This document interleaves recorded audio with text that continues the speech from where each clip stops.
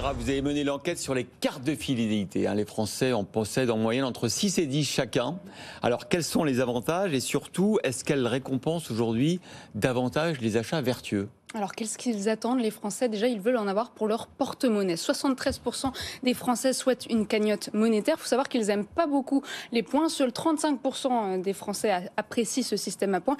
Ils attendent des enseignes qu'elles transforment ce système à points en euros. Donc, ils attendent donc de la générosité de la part des enseignes. Mais attention, un programme de fidélité uniquement transactionnel ne suffit plus. Ils attendent aussi des enseignes euh, de l'engagement, qu'elles les aident aussi qu'elles les accompagnent lors de leurs achats et les incitent à consommer mieux aussi de façon plus vertueuse. Justement, il y a un fléchage vers ces achats responsables? Oui, notamment chez Fnac, avec son programme Fnac et moi. Lorsqu'un client fait un achat responsable, l'enseigne verse des euros dans sa cagnotte. Euh, S'il achète un produit de seconde main, euh, la récompense est de 5 euros. 1 euro s'il choisit euh, le mode de livraison en click and collect, qui est un mode de livraison plus vertueux. 2 euros s'il ramène un produit en magasin que l'enseigne va pouvoir reconditionner et Ouais. revendre. Et 3 euros pour un produit labellisé durable. Alors pour bénéficier de ces avantages, il faut être un adhérent de la FNAC ou encore faire partie du programme euh, de réparation euh, Darty Max.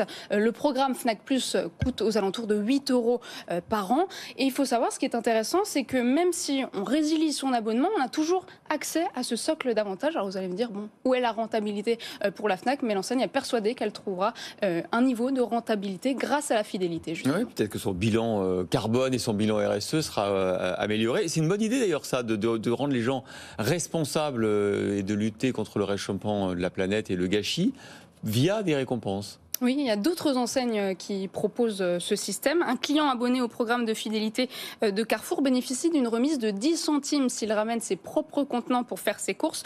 L'enseigne a aussi mis en place une prime marché et bio qui donne moins 10% sur tout le rayon fruits et légumes et sur la marque Carrefour Bio. Il faut savoir que cette carte est gratuite. Chez Sephora, si un client ramène le flacon de ses parfums, il a une réduction de 20%.